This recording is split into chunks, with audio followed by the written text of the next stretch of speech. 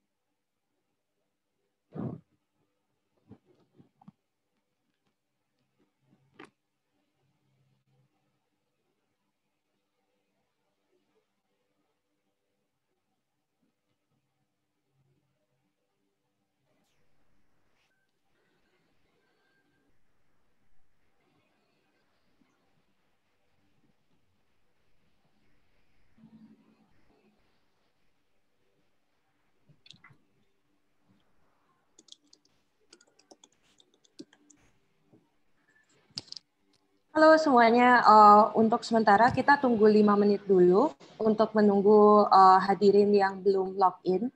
Nanti kita akan mulai uh, uh, sebentar lagi.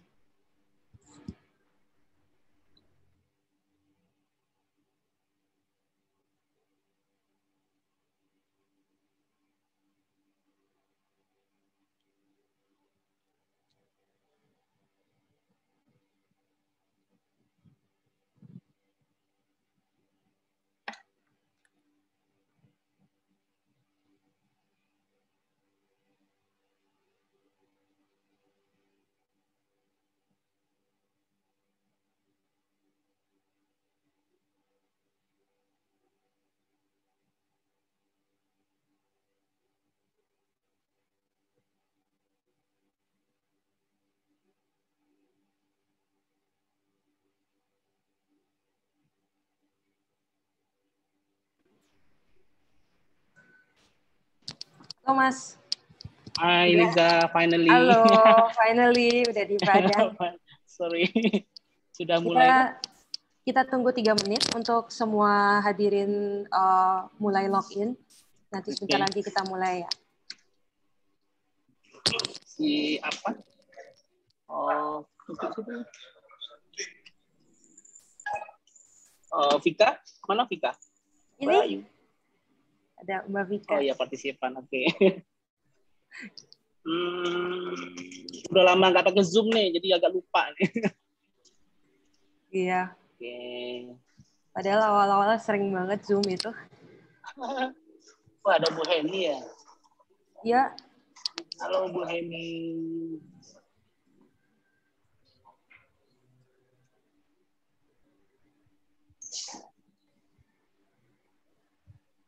Hmm. Oke, okay, so, menjelang talknya dimulai, uh, ya. saya akan membuka talk ini terlebih dahulu. Terima kasih atas semua yang uh, terima kasih semua yang telah hadir dalam talk ini dan sudah register. Um, nama saya Liza Markus, saya dari Yogyakarta Art Lab. Saya akan bantu memoderasi uh, talk ini. Pada hari ini kita akan um, melangsungkan sesi pertama Artis in Conversation, seniman dalam percakapan. Seri acara ini mempertemukan secara daring dua seniman dengan latar belakang yang berbeda, uh, dengan latar belakang yang mirip, namun akhirnya menempuh praktek seni rupa yang berbeda untuk berdiskusi dan mengeksplor bagaimana mereka membentuk dan sampai pada pendekatan seni mereka yang sekarang ini. Acara ini dilangsungkan dalam rangka pameran ulang tahun ke-25 Gajah Galeri. Erizal dan Hikaria Santika, keduanya meninggalkan daerah asalnya di Sumatera Barat untuk merantau ke Yogyakarta dan ikut dalam keberagaman komunitas seni di kota ini. Sekalipun memiliki pengalaman yang paralel, keduanya memiliki cara yang sangat berbeda dalam mengeksplor dan mengekspresikan uh, lanskap internal dan eksternal mereka. Sementara Mas Erizal biasanya melakukan pendekatan yang lebih spontan, intuitif, emosional dalam karya-karya uh, abstrak ekspresionisnya. Uh, di sisi lain, Mbak Vikaria Santika menjalani proses yang panjang dan menajam dalam karya multi uh, multimedianya, mengeksplor berbagai sisi alam. Datang dari latar belakang yang sama, namun memiliki praktek seni yang sangat berbeda.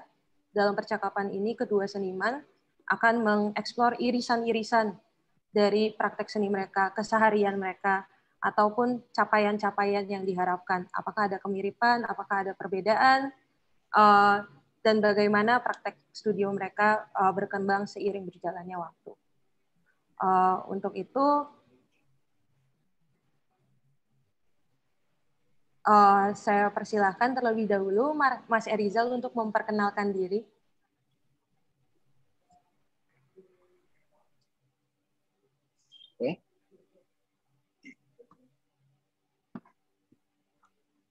Sudah bisa mulai? Bisa, Mas. Boleh mulai okay. memperkenalkan diri. Saya kok nggak bisa lihat wajah saya ya?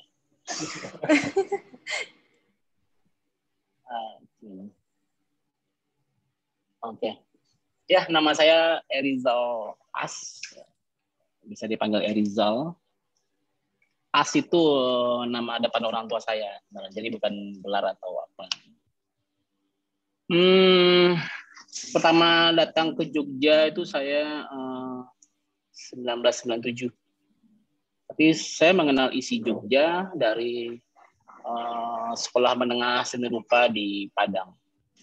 Jadi saya masuk sekolah menengah seni rupa di Padang tahun 94, saya tamat 97, terus saat, uh, memilih datang ke Jogja memang di Sumatera Barat pun juga ada sih uh, uh, universitas atau institut, institut uh, seni rupa.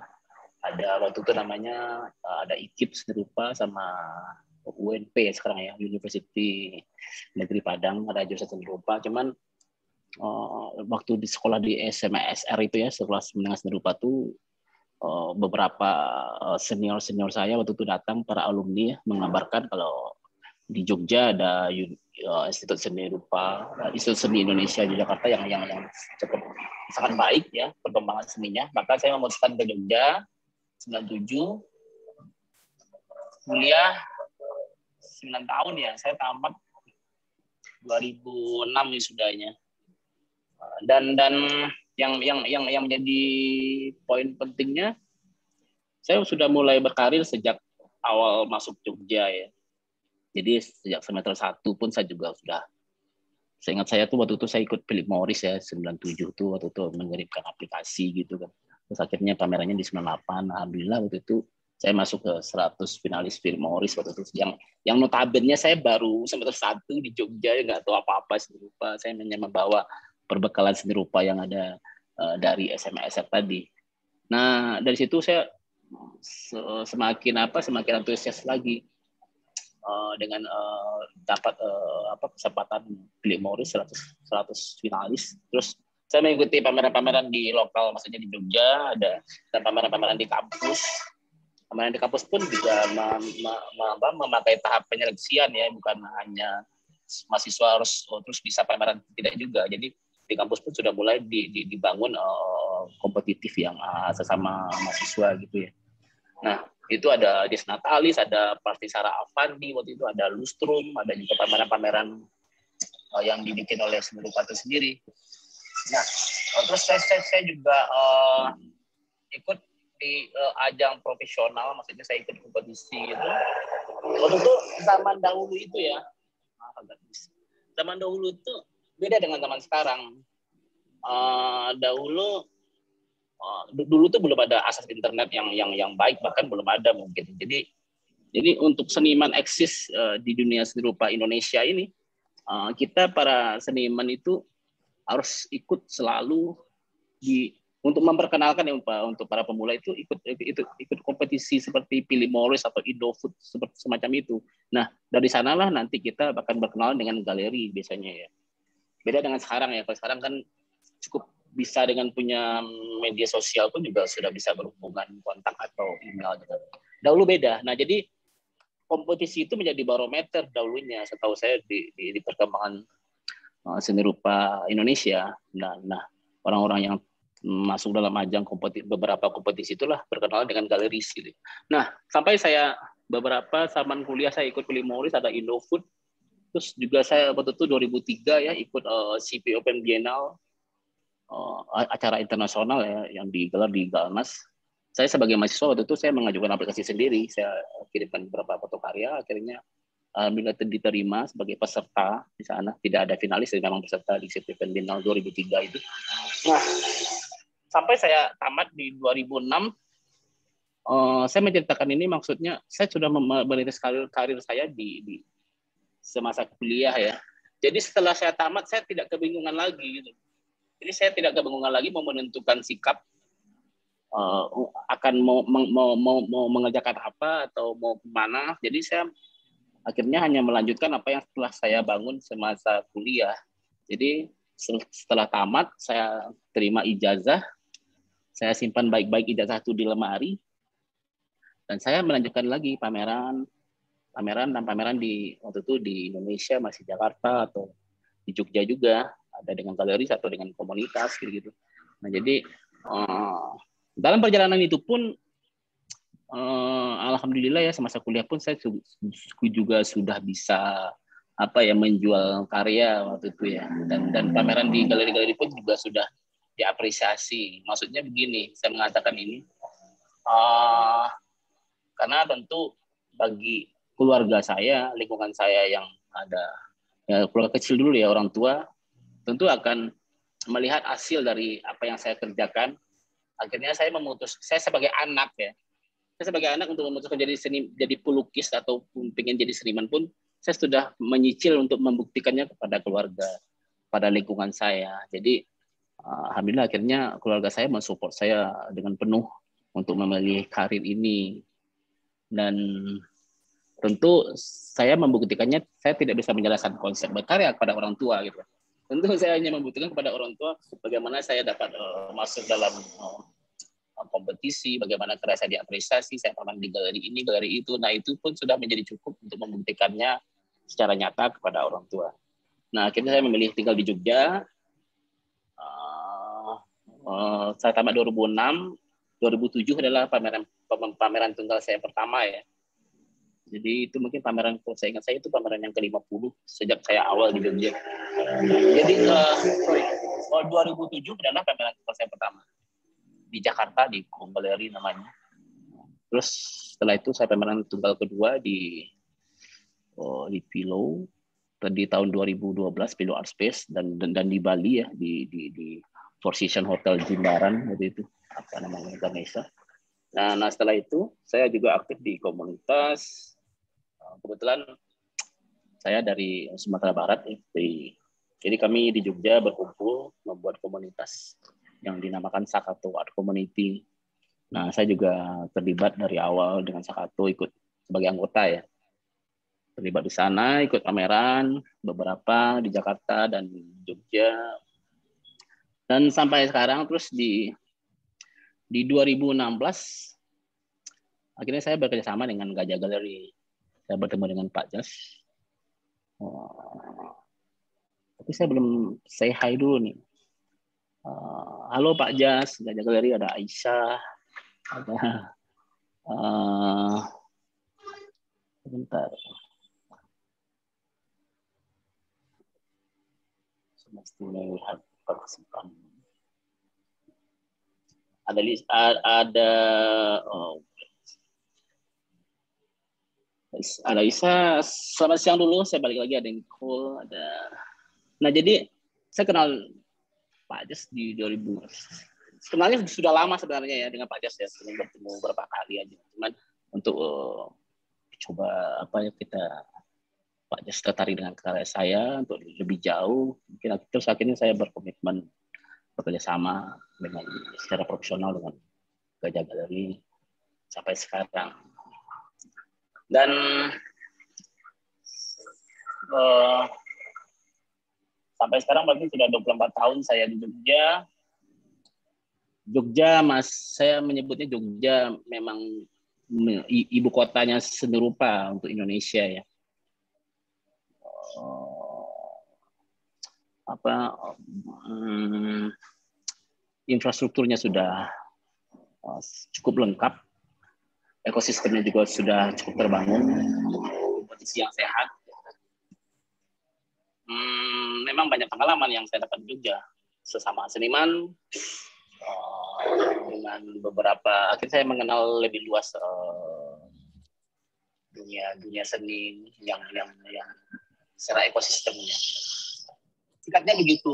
Tapi uh, sebelum saya perkenalan ini saya akhirnya saat ini pun saya saya kembali bukan bukan kembali ya. Saya kebetulan saat ini lagi memilih residence di kampung halaman. Jadi saya sekarang posisi lagi di Padang Panjang, kota kelahiran saya. Uh, saat ini saya memutuskan untuk mau saya berencana akan melukis di keliling Sumatera Barat ini. Karena mungkin juga alasan salah satu alasannya ini saat Covid ya. Saya hidup apa tidak bisa keluar kota, apalagi ke luar negeri atau untuk pameran pun pameran pun sangat terbatas. Akhirnya saya memutuskan saya mau datang ke hutan dulu untuk melukis. Oke, sekian dulu. Mungkin nanti kita sambung lagi, Liza. Baik, Mas. Terima kasih perkenalannya. Uh, selanjutnya, um, boleh saya persilahkan Mbak Vikaria Santika untuk memperkenalkan diri. Oke, makasih Liza. Uh, halo semua. Uh, nama saya Vikaria Santika, panggilannya Vika. Uh, saya sekarang tinggal dan bekerja di Yogyakarta, uh, berasal dari Sumatera Barat, tepatnya kota Payakumbuh. Uh, saya lulusan dari uh, Univers Universitas Negeri Padang uh, pada tahun 2010, jurusan Pendidikan Seni Rupa. Uh, Lalu saya pindah ke Jogja pada tahun 2010 setelah selesai uh, studi di uh, Universitas Negeri Padang saya pindah ke Jogja uh, masuk ke jurusan penciptaan seni rupa pasca sarjana isi isi Jogja. Jadi pada saat itu selesai menyelesaikan S1 saya memang memilih untuk uh, pindah ke Yogyakarta tapi tidak langsung memutuskan untuk uh, memulai karir sebagai seniman. Memang murni pada saat itu uh, saya ingin uh, kuliah, melanjutkan kuliah, uh, lalu kemudian berkembang uh, uh, keinginan atau melihat sesuatu yang yang apa ya?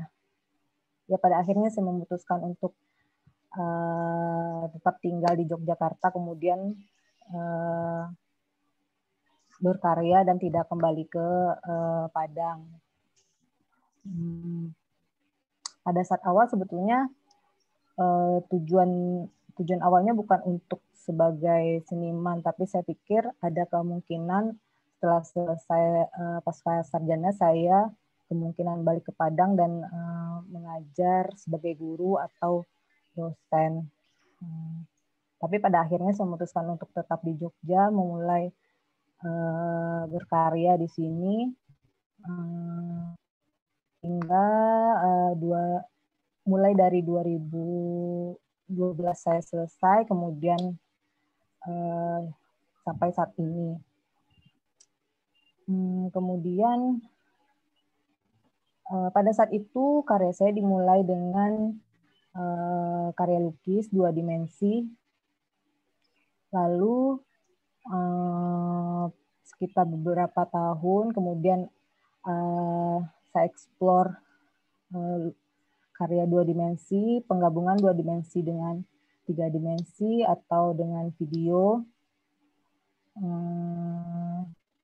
Pada saat itu menggunakan media Eh, media cat pada kanvas eh, dan penggabungan dengan video, lalu kemudian eh, beberapa tahun setelah itu berkembang menjadi kostum, saya membuat kostum dengan video.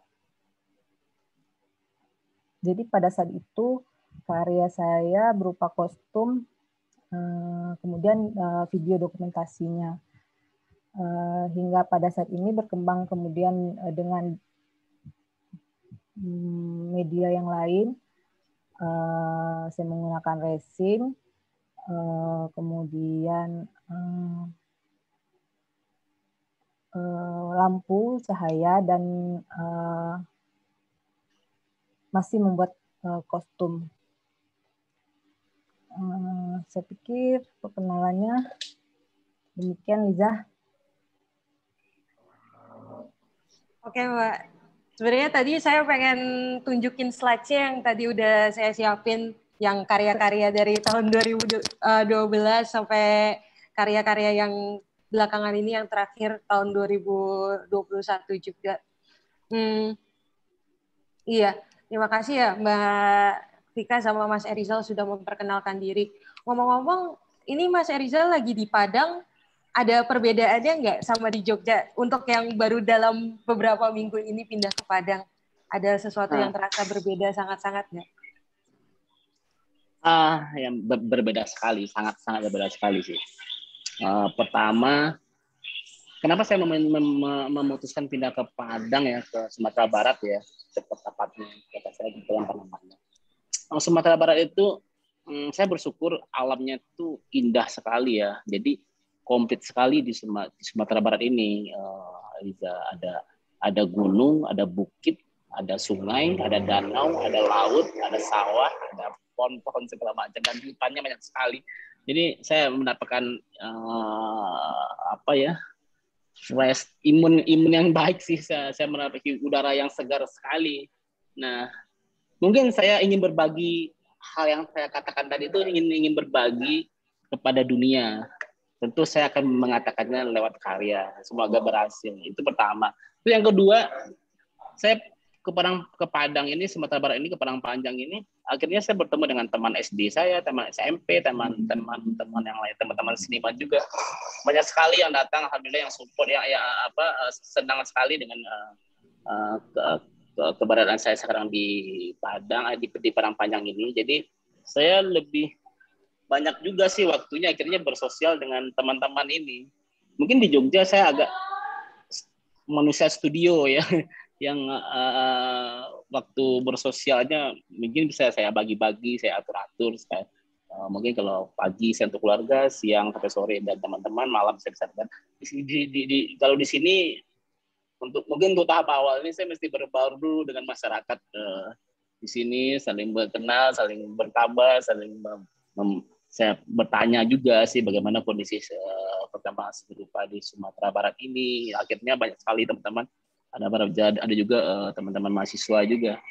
Jadi untuk uh, awal-awal ini saya masih mau uh, sedang mendengarkan uh, apa yang apa yang telah terjadi di Sumatera Barat sampai saat ini. Saya nggak gitu banyak tahu soalnya saya nggak tahu peta serupa Sumatera ini Sumatera Barat ini dengan dengan dengan baik juga sih.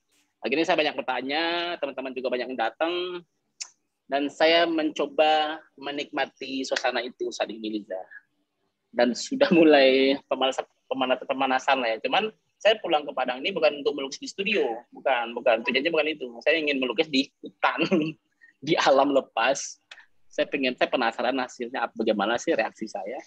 Seperti lukisan plein air ya, yang uh, yang ya. di luar langsung dilukis pada saat itu juga. Iya iya iya iya plan iya. Cuman uh, tentu harapannya ada sesuatu yang lebih dan dan eh, sesuatu yang berbeda dan lebih lagi hasilnya saya harapkan sih entah menjadi apa sih karena saya saya pun juga penasaran sama diri saya sendiri gitu Liza.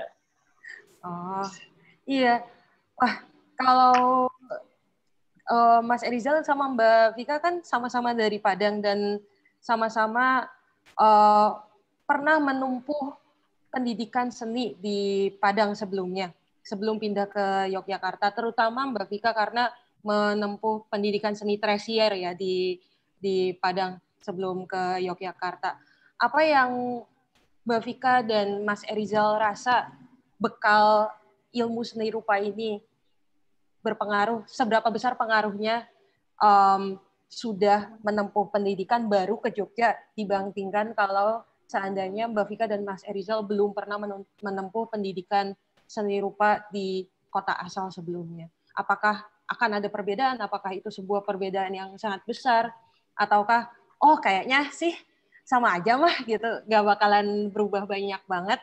Atau ada apakah ada sebuah tradisi visual yang terbentuk dari dari kedaerahan tersebut dan dari menempuh tradisi visual tersebut di institusi kesenian. Mungkin dari Mbak Vika dulu pendapatnya gimana? Uh, kalau saya kan memang ya pendidikan uh, sekolah menengah sama uh, universitasnya memang S1 di Padang ya. Uh, sebetulnya bekal apa yang saya dapat ya tentu tentu saja pasti ada uh, tapi lebih kepada apa ya sebagian kecil dari teknis ya tapi kalau untuk persiapan sebagai seniman saya pikir tidak ada sama sekali karena uh, memang itu tempat saya kuliah memang mempersiapkan uh, calon pendidik, calon guru dan calon dosen gitu kan. Tidak mempersiapkan uh, seniman. Jadi ya uh, uh, saya mendapatkan apa ya hmm, uh, harus harus mencari di luar kemudian banyak belajar terutama setelah saya pindah ke Jogja saya saya harus uh, ada di antara seniman-seniman yang uh, tamatan isi tamatan kampus-kampus uh, seni yang lain uh, di Jogja Bandung dan Jakarta jadi saya pikir uh, harus apa ya berkali lipat uh, untuk kemudian uh, belajar lebih banyak lagi. Uh, jadi saya pindah ke Jogja, saya pikir itu semua mulai dari nol untuk menjadi uh, seniman gitu. Harus uh, pada saat itu harus uh, belajar lebih banyak, berjuang lebih banyak gitu, bersaing dengan uh, lulusan dari isi Jogja. Kalau untuk tradisi di Padang kan sempat secara historikal ada wakidi gitu, atau ada um, jenis-jenis seperti bukan stereotipe ya, tapi mungkin uh, style kelokalan yang ber berafinisi terhadap landscape dan juga pelukisan landscape, uh, penghargaan terhadap alam. Apakah dari aspek itu ada uh, terbawa sama di diri Mbak Mbak Vika di saat berkarya di Jogja juga? Uh, kalau secara tidak langsung mungkin, uh, tapi kalau dengan kesengajaan melihat karya-karya pelukis yang berasal dari Sumatera Barat, kemudian membuat kembali itu, saya pikir enggak ya. Uh, tapi mungkin pengalaman terhadap bersentuhan dengan alamnya yang sama, kemudian uh, suasana dan budayanya yang sama, saya pikir kenapa akhirnya ada apa ya, ada kemiripan bagaimana merespon alam pada karya-karyanya gitu. Saya pikir begitu sih. Kalau misalnya Mas Erizal gimana? Apakah ada bekal dari pendidikan seni rupa Mas Erizal pas masih di Padang? Ya, Uh, kalau saya kan memang uh, bekal seni rupa saya sejak uh, di bangku uh, sekolah menengah seni rupa ya yang setara SMA ya. Jadi saya tiga tahun. Jadi tentu saya uh, dapat mendapat uh, pengetahuan seni rupa hal yang sangat basic-basic sekali ya. Hanya hanya min, kalau dibanding dengan Jogja minim sekali lah ya sebenarnya pengetahuan yang, yang didapat di di di di, di, di Sumatera Barat ini di SMSR Padang tempatnya jadi saya uh, tentu hanya melihat apa yang ada di sekolahan itu. Memang di tahun 97 ya 94 saya masuk tuh kecenderungan lukisan yang ada di sekolahan itu dan dan ya lebih umumnya lukisan lukisan naturalis ya pemandangan alam ataupun mungkin ada uh, figur seperti ada orang tari piring gitu-gitu ya di studio-studio lukis itu ya. Jadi realis dan naturalis ya. Jadi yang banyak. Nah, ya untuk basic basic uh, uh, awal awal apa basic yang sangat mendasar sekali dan dan apa ya waktu di SMS pun kalau boleh saya informasikan saya cukup berprestasi ya di saya saya juara selalu juara di sekolah maksudnya saya hmm, cukup berprestasi dan cukup menuntut nah, akhirnya saya datang ke Jogja. I'm nothing you know. I'm nothing. Gila. Sampai Jogja aku langsung kaget gitu. Wah, orang gambar bisa sedetail ini, bisa seliar ini, bisa sebebas ini. Memang itu saya aku akui. Nah, makanya beruntung sekali waktu itu ada senior-senior yang yang membimbing masuk kuliah gitu ya. Bukan bukan saya ingin mengatakan tidak ada apa-apa di Sumatera Barat itu. Saya, saya tentu saya dapat ada beberapa uh, apa pengetahuan dan sedikit uh, basic-basic dalam seni rupa. Cuman kalau kita boleh uh, mengukurnya atau membandingkannya memang agak jauh uh, kemajuannya berbanding agak jauh sih ya dengan dengan dengan ibu kota seni rupa yang Jogja tadi saya bilang. Nah akhirnya di Jogja lah saya akhirnya terbuka lah eh, pandangan saya kepada seni rupa itu sendiri ya, uh, wawasan saya, perspektif saya pelan-pelan akhirnya merubah perspektif juga. Nah karena itu kali Liza jadi eh, saya tamat SMA waktu 97 terus saya, sampai sekarang sudah 2021. Makanya mungkin itu juga salah satu alasannya saya pengen balik eh, pengen balik bukan apa ya, apa ya re, saya pengen residen saya sebentar di Padang ini di Sumatera Barat ini ya Padang Panjang saya mencoba mengadakan studio. Ya semoga bisa uh, apalah berbagi atau mengabarkan uh, uh, bagaimana seni rupa dunia sampai di mana saat ini ya, siapa yang butuh sih saya sangat terbuka sekali untuk ngobrol dan dialog sharing lah itu aja. Tapi kalau Liza tadi bilang terakhir pertanyaannya, kalau seandainya saya hanya di Jogja, jelas itu akan berbeda akan berbeda sekali uh, hasil karyanya tanpa tanpa tinggal di Padang. Memang uh, kami yang ya tamatan SMS itu memang cenderung awalnya di disuguhkan hal-hal yang naturalis sekali. Jadi sampai sekarang pun saya merasakan sih uh, apa, uh, uh, rasa dan kecenderungan naturalis itu kadang-kadang dan bahkan sering muncul ya.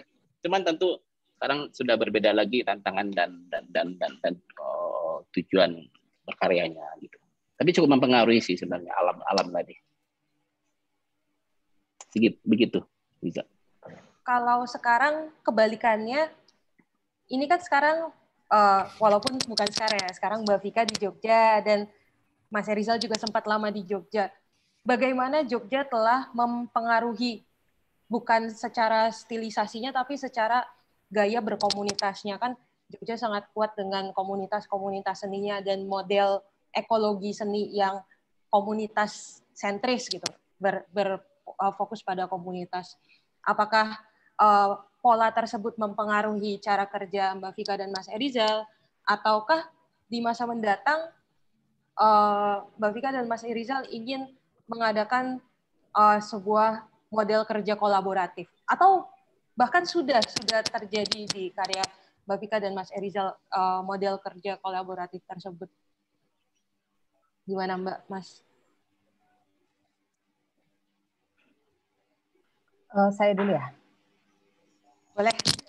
uh, kalau kalau kolaborasi uh, selama ini belum belum ada sih uh, karya kolaborasi dengan dengan seniman ataupun kelompok Uh, cuman pengaruh pengaruh komunitas lebih kepada kalau saya lebih kepada apa ya hmm, perjalanan uh, perjalanan pada saat awal menjadi seniman gitu. Saya pikir uh, kelompok itu penting untuk sebagai apa ya sebagai jembatan atau jalan yang lebih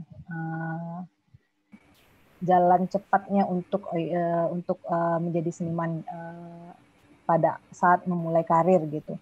Jadi uh, saya pikir um, bagi saya, pengalaman saya uh, saya bergabung di komunitas uh, Sakato sih saya pikir uh, ada banyak pameran-pameran penting pada saat itu yang uh, saya ikut bergabung kemudian uh, karya saya mulai uh, pameran saya mulai uh, apa?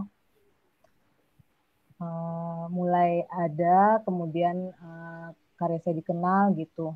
Saya pikir awalnya uh, itu mulai dari uh, kelompok gitu. Tapi untuk uh, kolaborasi dengan seniman lain atau kelompok mungkin belum ya. Tapi tidak menutup kemungkinan pada saat uh, ke depannya mungkin saja. Gimana Mas? Mas Mas Rizal kan sangat ah. dalam dalam berkomunitas ini sendiri, sangat aktif. Ya, ya, ya. Uh, memang uh, uh, sekali lagi saya akhirnya mengatakan Jogja dan Jogja lagi ya. Memang sangat berbeda dan dan unik sekali Jogja ya dengan banyak banyak banyaknya komunitas yang ada di Jogja. Ada yang komunitas kecil, ada komunitas lokal. Maksud saya tuh uh, lokal itu adalah uh, ada dari Padang, ada dari ada dari Sumatera Barat, ada dari Bali, ada Palembang segala macam. Ada juga komunitas-komunitas yang yang yang yang lebih personal, yang berkelompok berapa orang, itu banyak banget.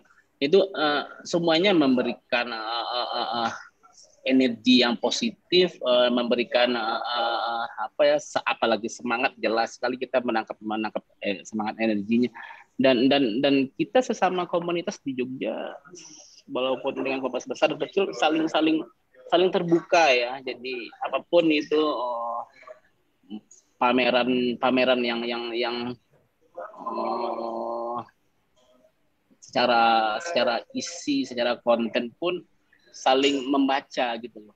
Jadi saling belajar juga capaian-capaian di komunitas A, di komunitas B gitu. Nah, yang lebih unik lagi sebenarnya selain selain komunitas adalah banyaknya studio seniman yang ada di Jogja itu itu itu di sangat menjadi penting sekali ya saya pikir kenapa harum sekali nama isi Yogyakarta itu karena seniman-seniman yang tamatannya menetap di kota itu gitu loh tentu akan mengatakan bagaimana akhirnya masih ada hubungan dengan kampus isi. Nah tapi yang menjadi penting memang banyaknya studio. Akhirnya tentu kita sebagai seniman pernah mengalami kejenuhan sedikit mungkin ya, tidak sering ya atau uh, atau butuh uh, butuh dialog. Jadi nah dengan adanya banyak studio di Jogja itu saya sedang butuh apa butuh energi butuh pancing saya hanya datang ke studio A ke studio B yang sangat terbuka di Jogja itu apalagi dengan banyaknya kenal sama seniman akhirnya saya kita bisa saling mengunjungi gitu. Jadi semuanya terbuka, apalagi sama seniman ya. Jadi ngobrol lah, apalah pengalamannya atau lagi ada yang habis pamer dari mana. Jadi kita saling berbagi energi itu dan berbagi informasi itu. Ini it, it, it, kelebihannya. Nah kalau di komunitas akan lebih banyak lagi harusnya informasi itu kita dapat karena dengan banyaknya anggota, dengan banyaknya uh, capaian-capaian personal-personal yang akhirnya bisa dikabarkan di komunitas. Memang untuk saat ini sampai sekarang saya pikir masih relevan sih fungsi komunitas itu tetap ada. Walaupun dengan adanya media sosial sekarang yang yang informasi terbuka sekali itu tentu untuk uh, personal ya. Tapi dengan berkomunitas saya pikir ada hal yang berbeda lagi yang yang yang bisa kita dapat dan yang bisa kita berikan pada uh, profesi ini atau dunia seni ini jadi Uh, terus dengan pertanyaan Lisa tadi, apakah mempengaruhi kerja? Tidak ada sih yang, yang uh, dia hanya uh, memberikan vitamin ya pada kita, memberikan semangat, dapat semangat, dapat informasi, dapat uh, mungkin tantangan itu aja sih. Jadi tetap kebetulan saya memang kerjanya di studio, uh, kerjanya sendiri aja. Jadi saya mencari energi keluar, mencari persoalan keluar, apakah itu saya permasalahkan atau tidak nah itu saya bawa, saya bawa ke studio saya menjadikan sebuah karya gitu nah, tapi untuk berkolaborasi sampai saat ini untuk berkolaborasi secara serius bukan serius ya secara uh, uh, fokus? Belum sih ya. Hmm, saya pikir itu tergantung nanti kalau ada kebutuhan gagasan saya saya harus berkolaborasi saya akan berkolaborasi. Cuman kalau untuk sebuah pencarian-pencarian uh, sesuatu yang saya akan dapat di, kolaborasi itu ini sih belum ya. Saya masih saya, saya masih uh, apa ya masih uh, ma masih menikmati kerja sendiri dan merenung sendiri dan mengeksekusinya sendiri mungkin saya pikir uh, kebutuhan kolaborasi bagi saya adalah untuk kebutuhan gagasan kalau gagasannya memang membutuhkan kolaborasi kenapa tidak itu Liza karena kolaborasi kan bukan cuma selalu kolaborasi langsung ya percakapan ini kan sebenarnya itu juga termasuk kolaborasi ataupun pas waktu itu uh, Mas Erizal terinspirasi dari pemain-pemain musik kan itu bisa juga dilihat sebagai bisa. salah satu bentuk kolaborasi. Uh, agak melompat sedikit ini percakapannya ya. Dari latar belakang yang naturalistik. dan realistik di pendidikan seni Padang itu, kebetulan, saya nggak tahu kebetulan atau apa, ada sebuah fokus yang menarik di antara uh, karya-karyanya Uday Rizal dan Mbak Vika, yaitu uh, perhatian khusus terhadap pengolahan materialitas dan pengolahan uh, medium. Um, dibanding rupa, malah jadi rupa si si rupa representatifnya itu ditarik ke unsur-unsur yang paling dasar medium, si catnya itu, si splatter catnya, ataupun si lampu di dalam resinnya, ataupun tekstil. Tadi di slide-slide awal sudah dilihat, sudah kita lihat bersama-sama bahwa ada pergeseran dari karya-karya, misalnya Mbak Vika pertama awal-awal ada beberapa karya kostum, lalu ada beberapa karya dua dimensi, ada beberapa karya yang print foto di atas akrilik, lalu ada beberapa yang menggunakan lampu dan sekarang ada beberapa karya yang lumayan skulptural gitu dalam dalam bentuk. Sementara di karya-karya Mas Erizal pas awal-awal banyak figur banyak figur yang cukup jelas gitu rupanya. Lalu ada yang figur yang lebih gestural lalu bergeser lagi dan sekarang mengeksplorasi bahkan frame-framenya dibentuk. Bagaimana kalian Mbak Vika dan Mas Erizal sampai ke dalam pengolahan ini dan kenapa ada aksen khusus di dalam pengolahan materialitas tersebut. Terserah mau udah Erizal atau Mbak Vika duluan yang dulu silakan. uh, kalau aku um, sebetulnya pemilihan material ini berdasarkan apa ya? Berdasarkan berdasarkan kebutuhan sifat pada saat itu, sifat atau karakter material pada saat itu. Jadi saya tidak memilih berdasarkan uh, materialnya. Oh, saya ingin pakai resin sekarang. Enggak, enggak gitu sih sebetulnya. Tapi berdasarkan sifat, saya mencari uh, sifat pada saat awal membuat karya saya mencari sifat uh, material yang transparan, uh, kemudian uh, uh, tembus uh, cahaya atau gimana gitu.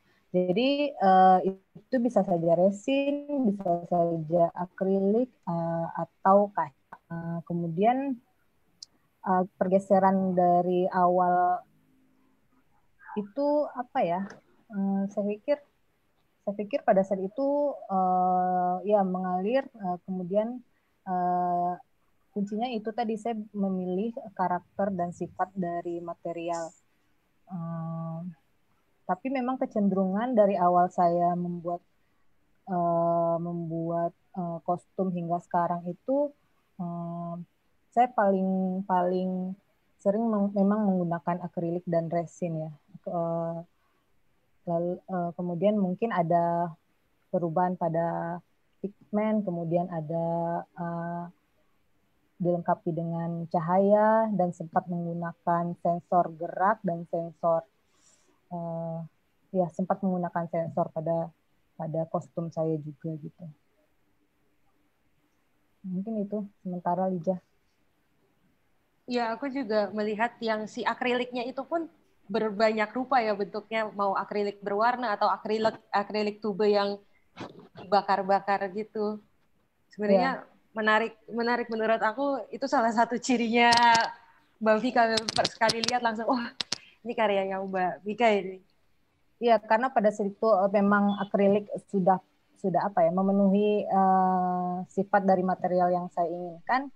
Kemudian uh, mencari tahu lebih banyak tentang akrilik akhirnya kan jadi saya menemukan akrilik uh, berbagai macam bentuk uh, tapi masih dengan sifat yang sama saya memilih akrilik transparan, kemudian uh, kalaupun penggunaan pigmen, kemudian saya memberi warna sendiri gitu. Jadi tidak tidak memilih uh, akrilik yang sudah jadi dengan warna uh, pabrik dari pabrik gitu. Jadi uh, prosesnya gitu sih pemilihan pertama memang uh, akrilik transparan, uh, tapi dengan berbagai macam bentuk bisa yang uh, tabung uh, atau yang akrilik set atau uh, pernah juga menggunakan mirror akrilik gitu.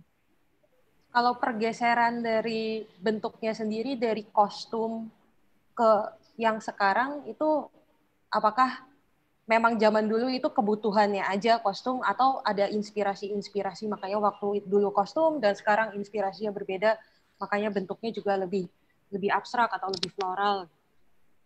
Jadi sebetulnya uh, karya sekarang juga dari masih pengembangan dari kostum sebetulnya. Jadi uh, saya itu berkarya dimulai dari kostum uh, dengan judul besar uh, judul besar uh, uh, kostum kemudian ada pengembangan dalam bentuk seri gitu kan uh, kalau karya sekarang ini pengembangan dari kostum di tahun 2000 2017 kalau nggak salah ya uh, pada pada saat itu saya pameran di Jogja Gallery uh, dengan komunitas Sakato Eh, kemudian berkembang sampai saat sekarang.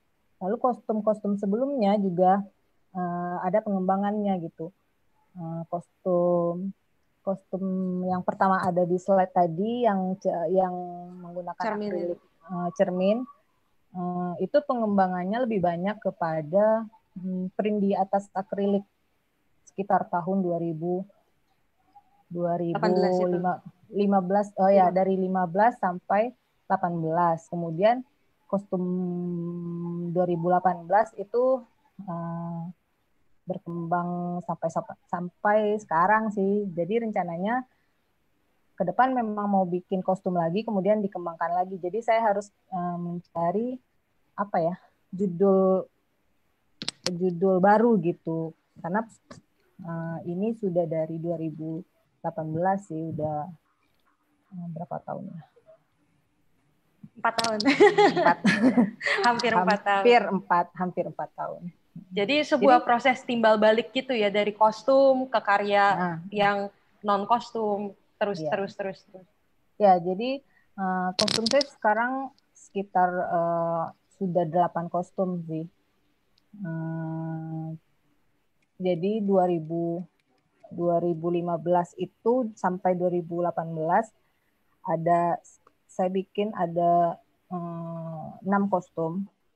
Jadi kostumnya lebih banyak, cuman pengembangannya nggak sebanyak yang pada karya yang tumpuk lapis tampak isi ini. Jadi pada karya yang sekarang itu justru satu kostum kemudian dikembangkan menjadi uh, karya-karya tiga dimensi seperti yang sekarang.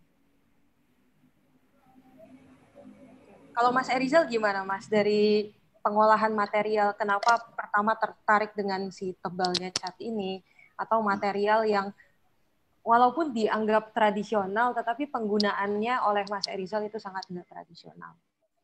Ya, ya, ya. Uh, kalau bisa tadi kan seperti yang Izal share tadi beberapa karya-karya sebelumnya tahun 10 tahun yang lalu atau 15 tahun yang lalu. Saya masih memakai akrilik ya. Uh, awal-awal kuliah itu akrilik karena waktu itu memang populer sekali akrilik itu di Jogja ya. Banyak hal ya tadi simpel dan mudah dan tentu bisa terjangkau juga harganya dibanding cat minyak nah, itu itu, itu uh, pertama. Jadi akhirnya sangat populer sekali di Jogja. Nah tapi uh, saya sadari sih saya dulu dari saat kuliah pun memakai akrilik pun tidak puas dengan akrilik itu sendiri. Makanya waktu itu saya mencoba mengcombine akrilik dengan uh, charcoal dan uh, pensil yang agak hitam ya. Tapi belum nggak charcoal. Coba lebih ini akrilik dan charcoal saya coba kombinasikan. Karena saya agak masih merasa kurang waktu itu ya perpaduan akrilik. Uh, hanya akrilik saja itu. Nah terus ber, berkembangnya berjalan akhirnya ada charcoal ada ada ada ada ada ada pastel juga saya pakai dalam bentuk material. Hmm, setelah pastel akhirnya kecenderungan tebal itu kalau saya sadari ya dari dulu pun sudah mulai tebal cuman masih takut-takut atau masih apa lah masih sedikit sedikit lah bahkan saya pulang kali ini kan beberapa kali pulang ke ke, ke, ke apa ke Padang Panjang ke rumah orang tua saya. Kan ada beberapa lukisan lukisan saya masih SMA so, saya aja melihat karya saya di waktu SMA SMA SR itu juga sudah mulai menebak-nebalkan cat padahal itu catnya akrilik ya. Jadi dengan keterbatasan pengetahuan waktu itu saya tebak-tebakan aja saya senang senang aja. Akhirnya saya sekarang bertemu dengan uh, material yang cocok untuk ditebalkan ya. Akhirnya pertama memang akhirnya sekarang saya uh, lebih fokus ke uh, cat minyak yang tadi dibilang uh, sangat tradisional sekali sejak era uh, klasik dulu orang dulu sudah pakai cat cat cat minyak ya. Nah, alasan pertama memang karena uh, secara alasan visual ya.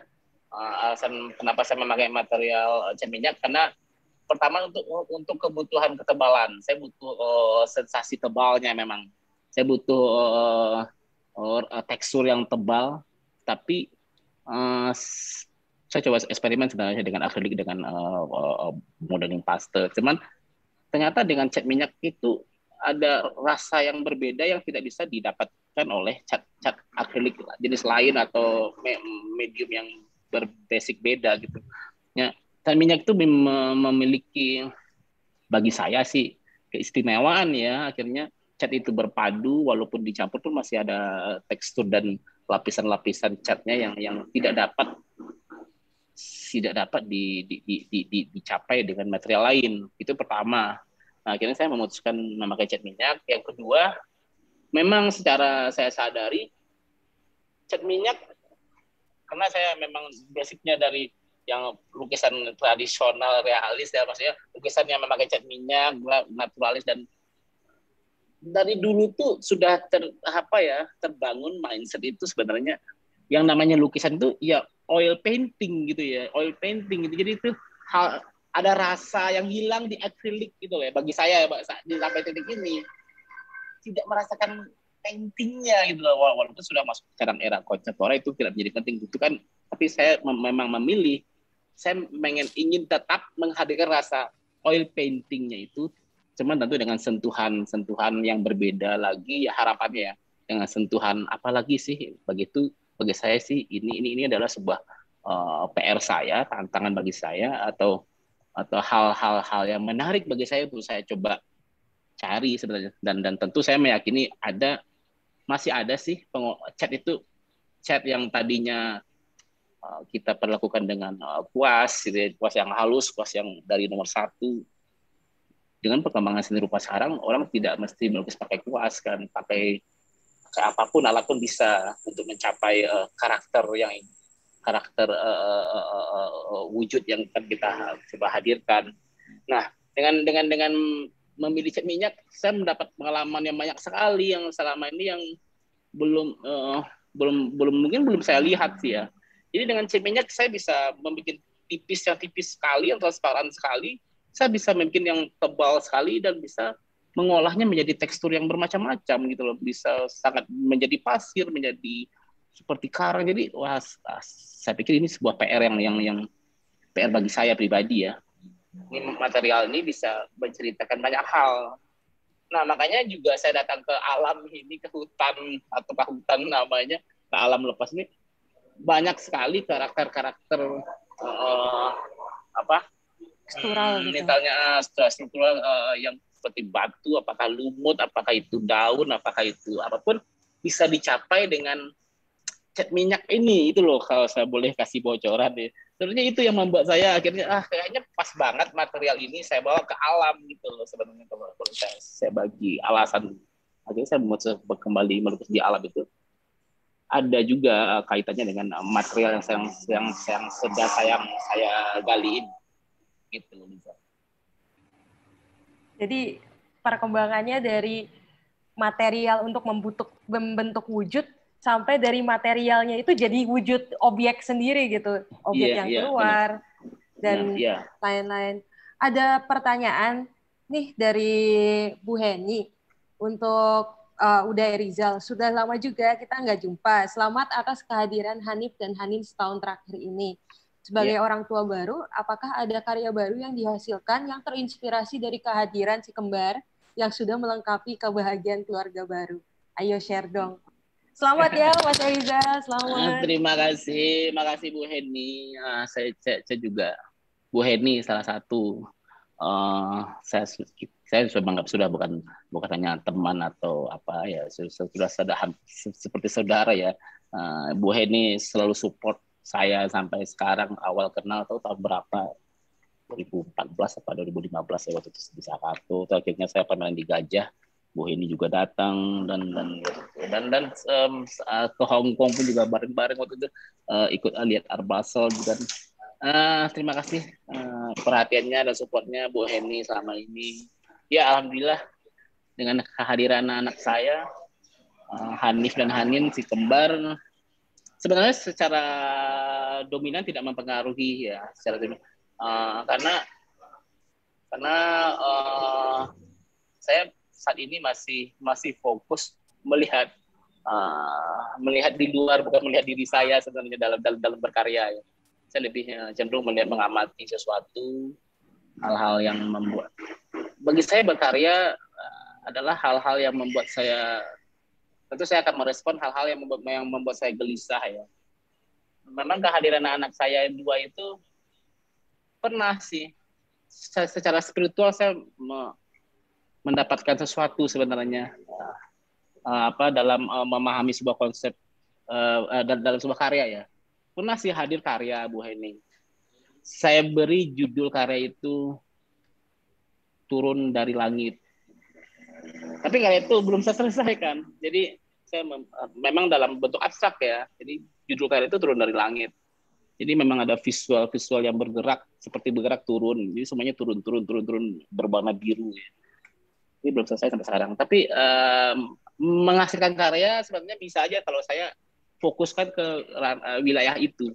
Cuma saat ini saya masih terganggu dengan hal-hal yang masih yang lain alam apalah uh, sosial kehidupan atau politik atau segala macam masih. Tapi uh, ada sih mempengaruhi.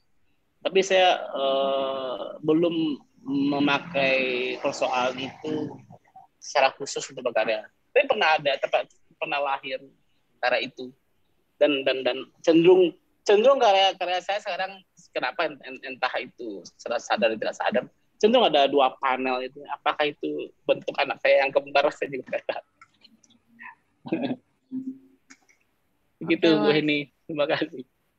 Kasih mas. Apakah ada ya. pertanyaan lain dari uh, dari hadirin? Kalau misalnya ada pertanyaan, boleh dituliskan di chat. Uh, kita akan akhiri talknya dalam sekitar 5-10 menit. Untuk sementara ada pertanyaan, uh, apa nasihat yang apa nasihat atau tips-tips dan saran yang uh, Mas Rizal dan Mbak Vika uh, bisa berikan kepada uh, seniman muda saat memulai nah. berkarya? Gimana Mbak? uh, saran saya kan masih seniman muda oh, iya. jadi saya juga masih saya juga masih membutuhkan saran saya pikir tapi mungkin ini ya. Hmm, apa ya? Uh, saya pikir tekad yang kuat sih.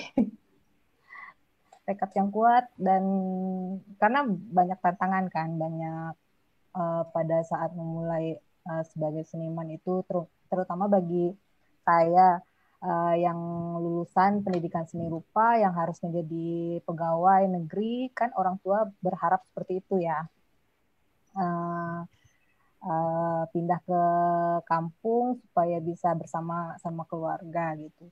Cuman kan uh, apa ya hmm, tantangannya di awal itu sih bagaimana meyakinkan kalau pilihan uh, saya tepat pada saat itu dan saya bertanggung jawab dengan pilihan saya pada saat itu. Dan pembuktiannya ya sampai sekarang saya masih membuktikan kalau pilihan saya memang tepat dan uh, saya harus uh, komit dengan apa yang saya ambil dari awal gitu. Uh, kemudian tantangan lain setelah menjadi uh, memilih menjadi seniman di Yogyakarta ya uh, saya harus bersaing dengan apa ya seniman. Jadi maksud maksud saya bersaing saya saya harus mempersiapkan sesuatu yang lebih baik, lebih bagus, ataupun apa ya, sesuatu yang baru saya pikir, karena akan banyak muncul, uh, akan ada terus seniman-seniman dengan kualitas yang uh, bagus uh, yang dihasilkan di Jogja gitu dan kota-kota lainnya. Jadi saya pikir uh, uh, untuk terus terus belajar uh, dan tetap tetap fokus sih. Saya pikir itu. Gimana yang Mas Erizal yang sudah bukan seniman muda? saya masih muda lah. Saya juga masih muda kok.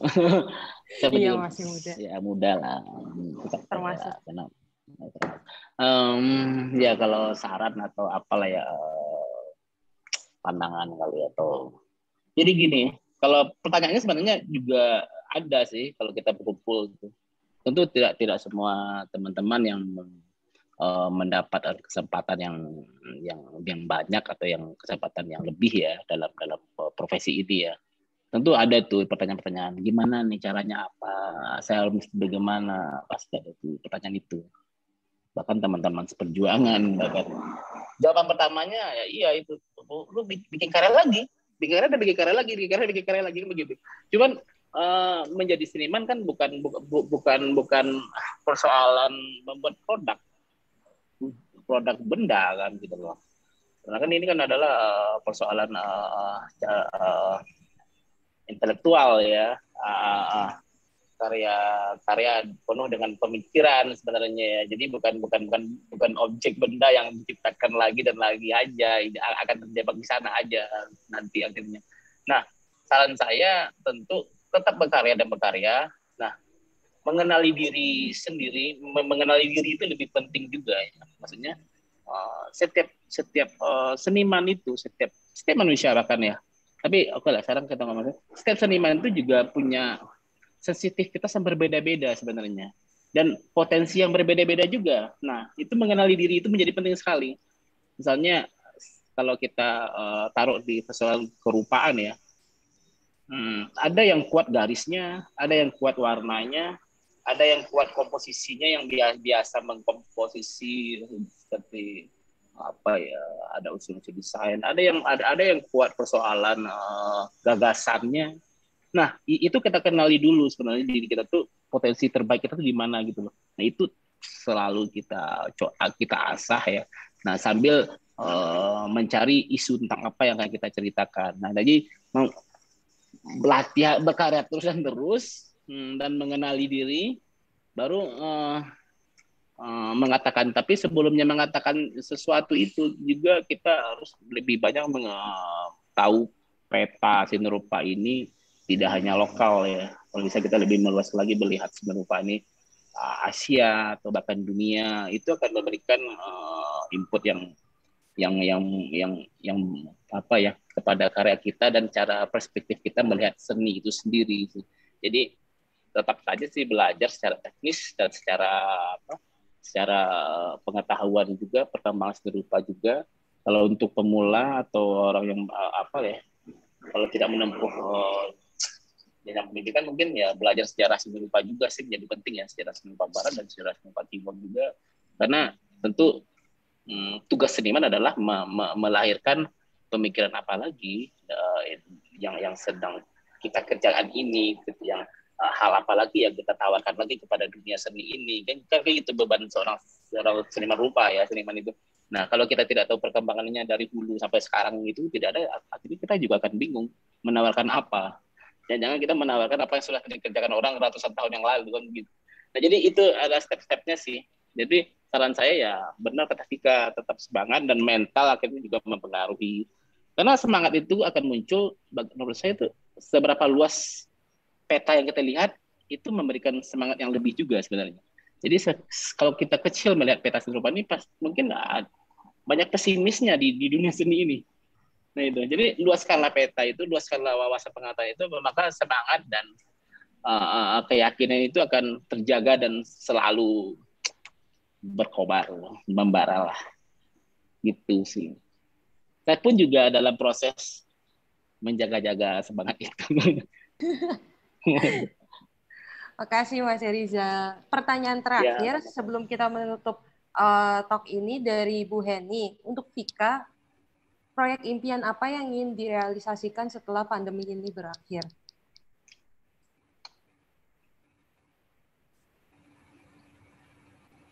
Apakah ada proyek yang selama pandemi ini tertunda terus atau belum bisa terrealisasikan, terus ingin setelah pandemi langsung dikejar, Mbak? Uh, mungkin apa ya uh, yang tertunda sebetulnya saya ad, uh, sudah ada apa ya rancangan karya untuk uh, instalasi dengan ruangan yang cukup besar. Uh, tapi kendalanya saya pikir bukan pandemi sih tapi mungkin belum ada uh, momen pameran yang tepat gitu untuk mewujudkan karyanya gitu. Jadi saya pikir masih menunggu momen itu sih. Cuman saya sudah ada beberapa rancangan karya untuk instalasi di uh, dalam atau luar ruangan uh, dengan ukuran ruangan yang cukup besar, tapi ya masih menunggu uh, momen pameran yang tepat sih saya pikir.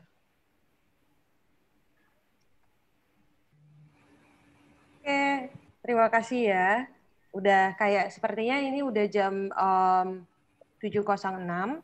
Kita akan me mengakhiri uh, artis talk kita pada hari ini.